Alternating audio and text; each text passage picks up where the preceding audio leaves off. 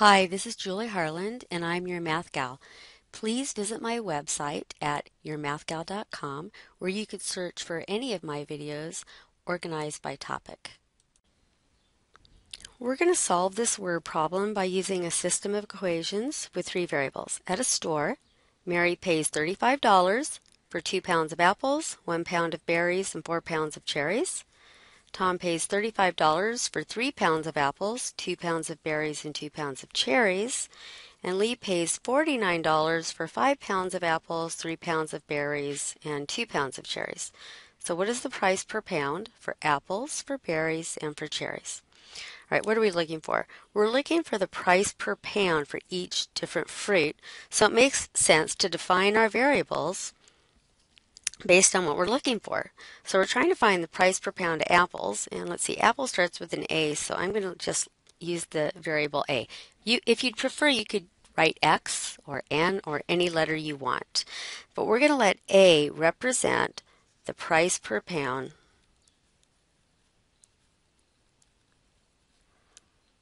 for apples. All right, what else are we looking for? Well, we are looking for the price per pound for the berries. So how about B? How about we let that stand for the price per pound for berries? And we're looking for the price per pound of cherries. How about letting that be C? All right, so what we do is we define three variables.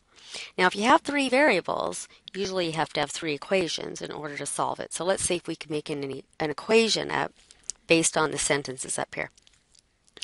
What do we know about Mary? She pays $34 for two pounds of apples, one pound of berries, and four pounds of cherries. Well, let's see. She's buying two pounds of apples, and A is for one pound of apple. So what would she pay for two pounds of apples? 2 times A. So for the apples, Mary, and I'm going to put an M so we can keep track what we're, this is just what Mary pays. She's paying 2A for how much, that's how much she pays for the apples. And then she has one pound of berries. So plus the price of one pound of berries is just B, or one times B if you want to put a one in front of it. And then she also bought four pounds of cherries. Okay, each pound costs C, so 4 pounds would cost 4C. And altogether, that was $34. Now, see if you can figure out what to write down, write an equation for based on what Tom pays and based on what Lee pays. Try putting the video on pause and trying that on your own first. All right, Tom pays $35 for three pounds of apples. That would be 3A. That's the total cost of the apples. Two pounds of berries would be 2B. And two pounds of cherries would be 2C. And that was a total of $35 Tom paid. I don't know why I have this extra line in there, but let's make that a little prettier. Three. All right, what about Lee? He bought five pounds of apples, so for the apples he paid 5A, right? A for each pound would be 5A. He bought three pounds of berries. And let's see, he bought two pounds of cherries. And he paid $49. So we were able to write three equations with these three unknowns, A, B, and C.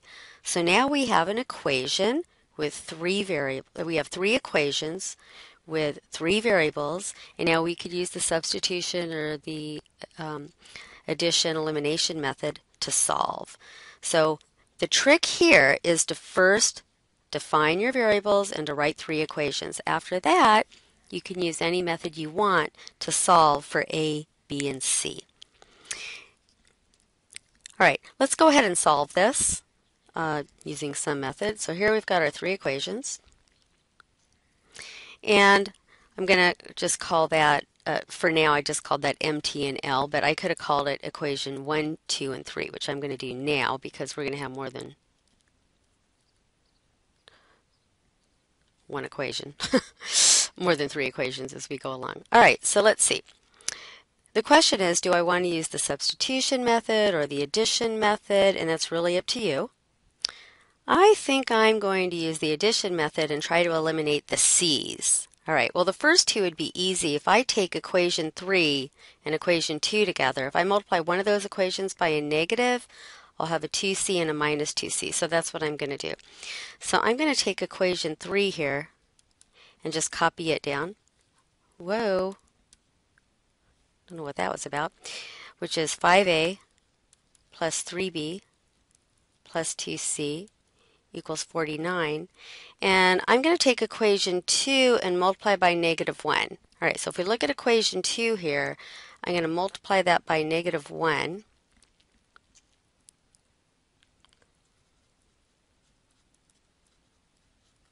What does that give me? That gives me a negative 3a, a minus 2b, a minus 2c, and a minus 35. So if I add that up, what do I get? 2a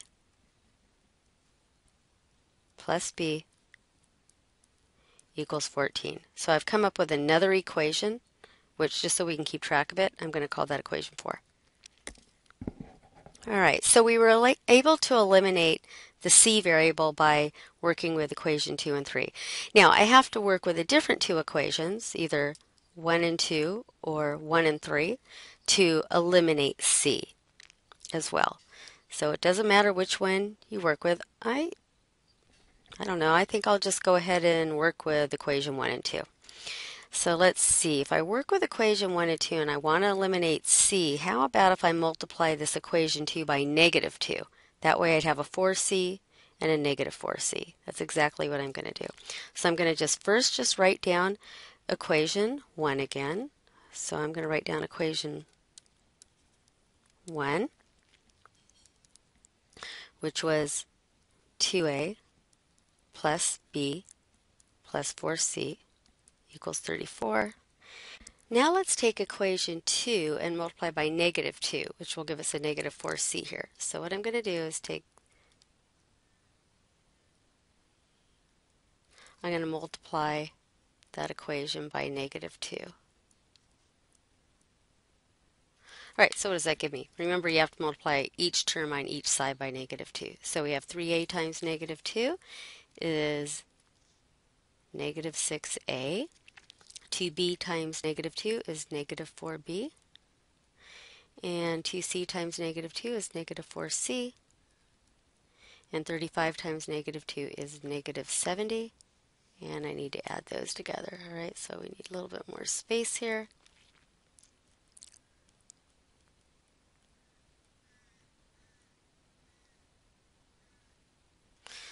All right, so we have 2a minus 6a is negative 4a.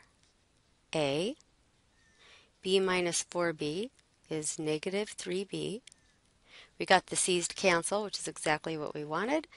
And negative 70 plus 34 is negative 36. So I have a new equation, right, with only two variables. And I'm, I'm just going to call this equation 5 just to keep track of all these equations. All right, so now I've got two equations, equation 4 and equation 5, that both have just the variables a and b. So if I can manipulate these two now and solve for a and b, then I'll be able to go back, substitute back up to one of the first three equations and figure out what c is. All right, so let's say I'm looking at these two equations, equation 4 and equation 5. Now you could again use substitution or the addition elimination method. To me it looks pretty easy to either multiply equation 4 by 3 so that I would have a 3b and the b's to cancel out or if I multiply equation 4 by 2 which would give me a 4a and that will cancel out the a's. I think I'll do that. I'm going to multiply equation 4 by 2. All right.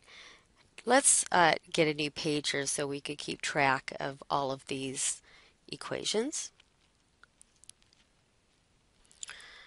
All right, so here are two equations with, the, with just the two variables. 2a plus b is 14 and negative 4a minus 3b equals negative 36. And I'm going to go ahead and multiply the top equation by 2. So that will give me 4a plus 2b equals 28. And I'll just keep the second equation as it is, which is negative 4a minus 3b equals negative 36. And if I add those two together, I have negative b equals negative 8. So b is 8. Now remember what b stood for? B is the the uh, cost per pound of the berries. All right, so we know b. Just keep that in mind. Now we need to go back up to one of these two equations, right? And figure out what a is. So how about if I take that first equation, 2a plus b equals 14, and now let's substitute 8 in for b.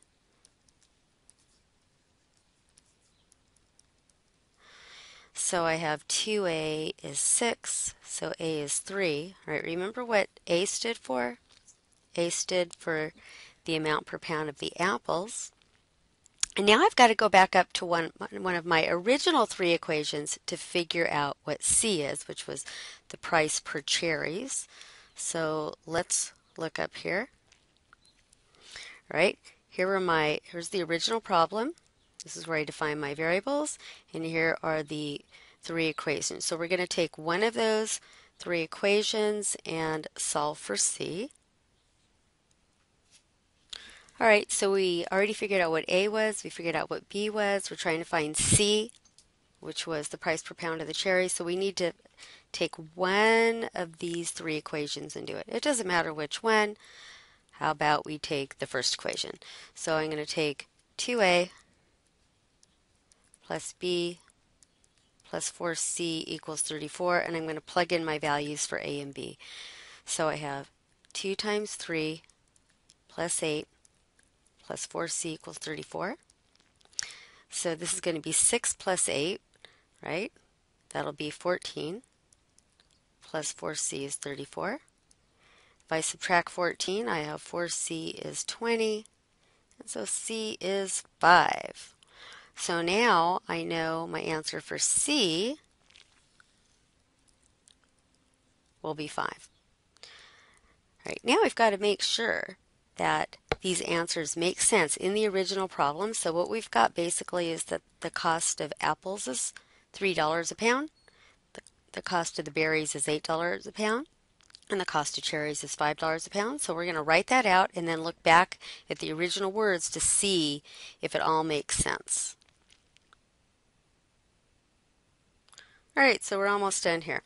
So it looks like our answer is going to be the price per pound is as follows. Apples, $3 a pound. Berries, $8 a pound. And cherries, $5 a pound. Underneath here, I'm just going to make sure that would be true given the three statements we knew at the beginning. It says Mary pays $35 for two pounds of apples. Okay, look up here.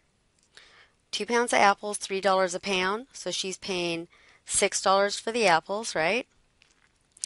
And then a pound of berries, okay, $8 a pound, plus $8 for the berries, plus 4 pounds of cherries. All right, she's got 4 pounds, $5 a pound, that's 20.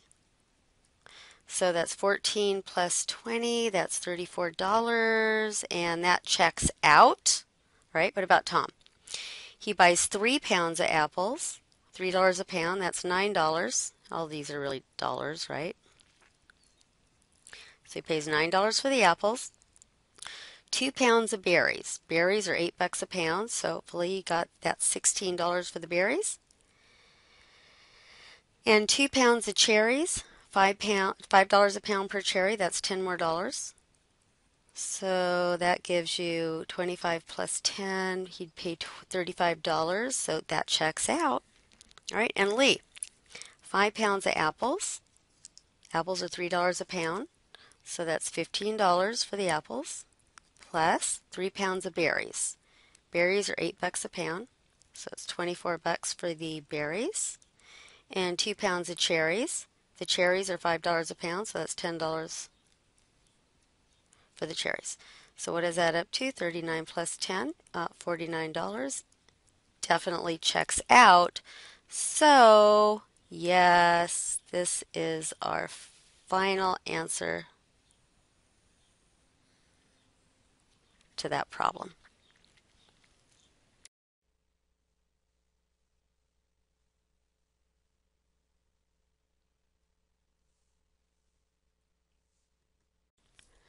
Please visit my website at yourmathgal.com where you can view all of my videos which are organized by topic.